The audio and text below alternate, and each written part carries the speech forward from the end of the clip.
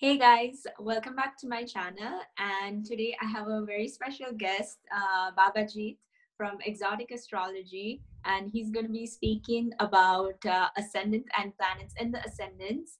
So I'm very honored to have you on my channel. And over to you, Bhabajeet. Thank you very much for the invitation. No problem. I recently did a webinar and on that I spoke on the ascendant for around 50 minutes. So I don't know for how long I'll speak here. so what should I speak on the ascendant? Tell me. Whatever you want, I will speak. So just ascendants, uh, you can just start with the basic, like uh, first, uh, what kind of ascendants? Uh, different people have different ascendants, and then some people actually have planets in their ascendants or planets aspecting their ascendants from different houses. So we would like to hear about that, and what's the significance of uh, those planets? Yeah. So generally, what they will do is in astrology, they will take the ascendant i will tell you first how they see the ascendant and, and then i will tell you why that is wrong. Okay. Because first to learn something we have to unlearn the wrong things right? True true. So let me uh, start with some examples here. So now somebody may not mm, be aware of the ascendant. Ascendant is generally the first house. I'll explain about the ascendant later. But suppose uh, in India or in any other place, you get horoscopes for matching them for marriage. All right? Mhm. So suppose uh, there's a man who gets uh, two horoscopes, okay, of two girls, Mhm. and uh, this is a very interesting question. Suppose there's one lady whose horoscope is, and suppose uh, as per compatibility, the man is compatible with both of them suppose. Let's take a utopian scenario. So it's more of the free will which one he marries okay? Mhm. so suppose then uh, there is one lady who has a great ascendant or a lagna or the first house. Mhm. and she has a difficult seventh house. We will explain what difficult and what good is and all this later. Mhm. and there is another lady who has a great seventh house Uh-huh. but she has a very difficult ascendant or weak ascendant or however you call it. So then uh, i would like to ask you so what would you suggest the person? The first one or the second one? First one has a strong first house and a weak seventh house or a difficult seventh house. And the second one has a great seventh house and you know difficult first house or ascendant or lagna whatever you say. What what what would you suggest the person? I would suggest the strong ascendant. yeah you're right you got it. Because see uh, the planets are always transiting. Like currently jupiter is in jeshta in the sidereal side. It's in scorpio saturn is in purvashada. All these things are there. But that's the energy of the universe. That's not you or me we are getting Mhm. affected by it but we are not that but Mhm. when we have a planet in our horoscope it means that that uh, is like the first house defines who we are the lagna will tell us what is our identity in the entire universe universe has planets here there in this house that house okay but the lagna will tell who are you in that universe? Like you may be in a school where there are 100 students but then inside that you are in section a you are under mathematics you are under some some some department. Yes. You have a roll number right? Roll number 10 roll number 20 that's what the ascendant is. So the ascendant separates you from the rest of the universe True. without the ascendant you have no identity you don't, you don't exist so that is why it is the first house that's the body because the body is a part of the universe but it has its own identity right yeah, that that's is a good, very good way to explain. Yeah. so the thing is the first house will tell you how you view this world. all the other houses not only the first house alone First house tells you how you view the second house, the third house, the fourth house, the fifth house, up till the 12th house. Mhm. It is like having a uh, specs. Now, I don't have specs, so I can't show it here. but in uh, in Srimad Bhagavatam, it is said uh, there's a shloka. I don't know if it's in Bhagavatam or it's in some other scripture, but it says, "Na Atmavan Manave Jagat." Mhm. it means now there are many translations to this shloka one of the translation is that the world is a mirror of your own consciousness True. it is not what it appears to be it is what you want you to what you want it to be like and that is why they say that a person who only has good inside will only see the good in others. And a person who has hmm. bad inside or difficulties inside he or she will only see the bad outside. So what he's seeing outside is a reflection of what he has inside basically. True. so the outside represents the other houses. For example second house represents who? Your family. Yeah. Anybody who you shake hands or you say oh this person is like my family that's the second house they may not be from your blood they may be from any other place Mhm. third house represents your siblings Mhm. so it's like saying i am standing here and the entire world is getting mapped in the remaining 11 houses Wow. anything which you have in this world is within those 11 houses anything i mean enemy sixth house somebody somebody will be either your acquaintance acquaintance is like okay hi hello bye Mhm. which is the house of acquaintance that's the third house Mhm. or they will be your friends 11th house Eleventh house. Yeah. or one of them will be your mother fourth house. One of them will be your father the ninth house. One of them hopefully will be your spouse. Yes. One of them will be your enemy. And now somebody will say that oh some people are like nobody for me. Nobody you don't know them. They are like the 12th house. You don't know them. You don't care if they are living or they are dead you know. Of course you don't want that they die but Yeah. you're just not affected by them Mhm.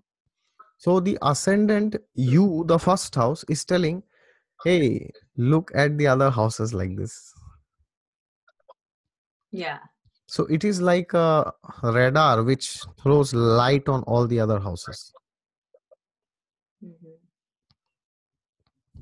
and that is why irrespective of any other house or any other planet in any other house you will always see the ascendant will have a role in that house.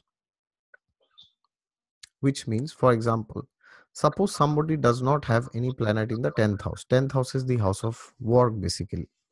In these days loosely it can be translated as career because nowadays for people most of the times they spend their energy is during work. Mhm.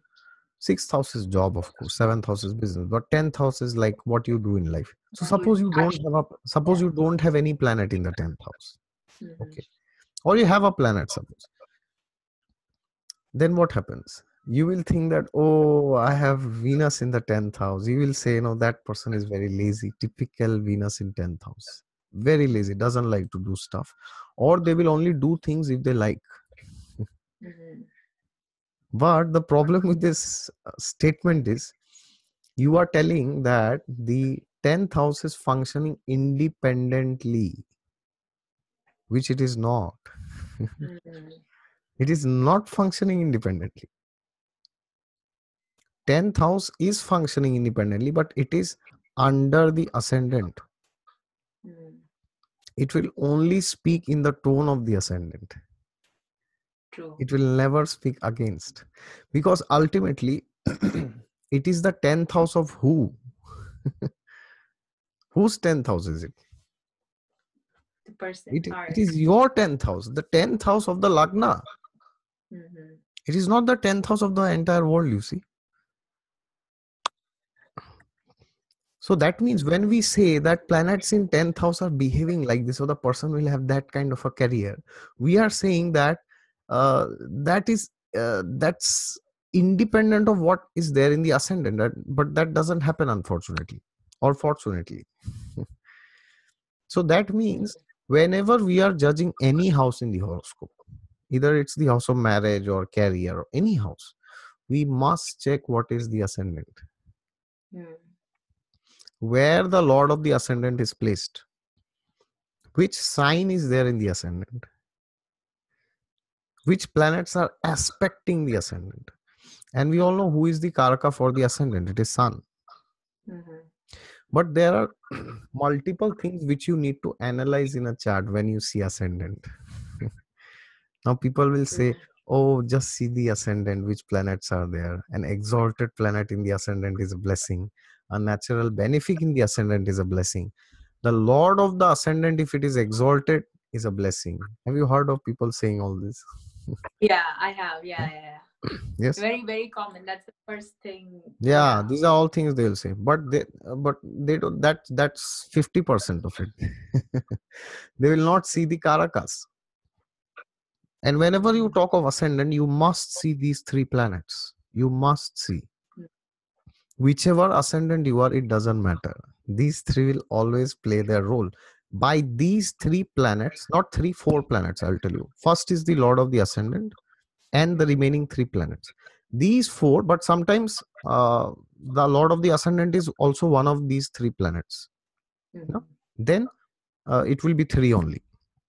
Now i will tell you why the other you know three planets because first is the karaka for the ascendant the sun. Mhm. because sun is what basically sun is that who everybody sees right Yeah. so when we go outside somewhere everybody is seeing us not that they are staring at us to come and touch us but they just they just see us right Mhm. we may not be a billion or we may not be like a model but they're just seeing us that's very important Mhm. So that means we are like the sun in some small way. Otherwise we don't exist you see. We don't have any identity. There's no existence. The fact that somebody observes us that is the because sun is also the karaka for eyes you see eyesight. Mm. and then the second planet which you need to see is it is mars mars will tell you about the body. They are seeing what? They are seeing the body right? Mhm. they are seeing something. They are seeing the body. True. but but krishna says in the gita you are not this body you are spirit soul. So they are actually not seeing you. Mhm. actually they are seeing somebody. That means sun is there and mars is Mhm. there. You are in this body but you are not this body True. people say that uh, you are having a spiritual experience that's totally opposite Mhm. you are a spiritual being which is which which you are you are currently having a material experience so that means the third planet which you need to see is jupiter Mm. because it is jiva karak jiva karak means the strength of the atma Mhm. strength of the atma does not mean how much determination he has that can be seen by sun and mars and where the lord of the ascendant is placed but jupiter will tell you what is the awareness of the soul Mm. jupiter is nothing but how much the soul is aware in this world so the more jupiter is greater in dignity the greater awareness the soul has True. The soul is very aware of everything you know Mhm. soul is aware okay somebody is dying Yeah. i feel pain for that person even if i don't know that person Mm. that will not come from sun mars That will come from Jupiter. Like empathy. yeah awareness basically I am a student, I should study.